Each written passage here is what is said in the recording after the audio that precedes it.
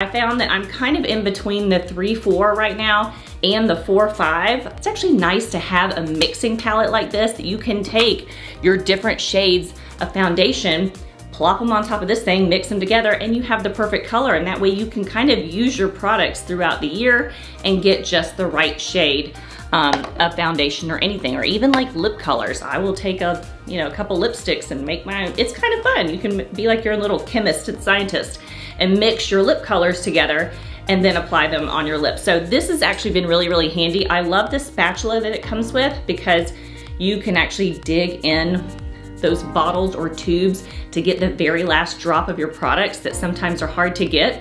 And this will just reach down in there and scrape them out and then you can put it on top of the palette.